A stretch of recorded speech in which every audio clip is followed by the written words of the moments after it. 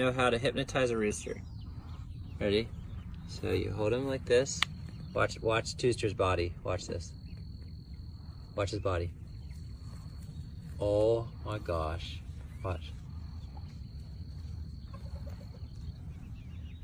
He's totally fixated on the line. Watch. He's asleep. This is just like when they're roosting. How long will he stay like that? A few minutes.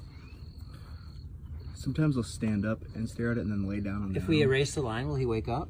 I'm not sure. I'm not sure either. Is he gonna peck me? Oh my gosh, if you